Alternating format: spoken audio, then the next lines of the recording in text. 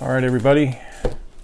It is uh, Tuesday, the 27th, December, and we have another package to open. So let's go ahead and open this and see what we got. It's like Christmas all over again.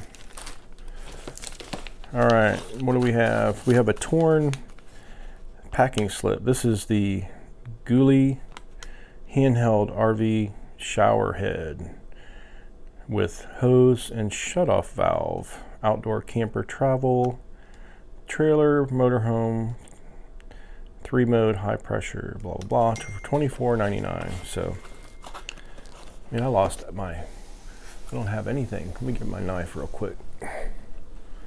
I need some glasses too.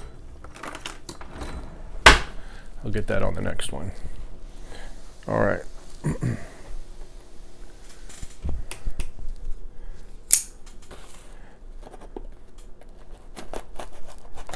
Well, I really taped that up pretty good. Yeah, during the freeze, our brand new little hot water heater shower froze and broke. So it snapped off like right like right here. So hopefully this will replace it and we can turn our shower back on because I mean we only had it for like running for like two or three weeks and it the cold freeze broke it. This is the one of the least expensive ones I got, but it does have a shut off. Know, I have some Teflon tape in the other one, so. And then, you, of course, it comes with the hose. I don't know if the hose, the hose still might be good. I'm not sure.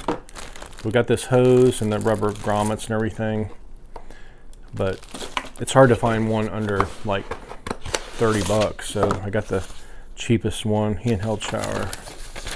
So basically there's all the things. I'm just hoping the uh, inside and outside diameter um, fit and screws on. I don't know what size, I just kind of guessed. So hopefully I guessed right. But I'll try it out today, hook it up, see if it fits. I might have to get an adapter or something to help me hook it up. But hopefully everything will work out.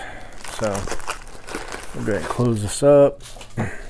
So I'll leave a link in the description if you guys have, uh, it's kind of nice to have an extra one of these hanging around just in case you have a break or a split or something happens, you can replace your your shower there. So if you like this video, crush the like button and uh, I'll bring you a few more things I had to replace during the freeze in Florida have a great day, and uh, it's going to be New Year's here pretty soon. So happy New Year's if I don't see you.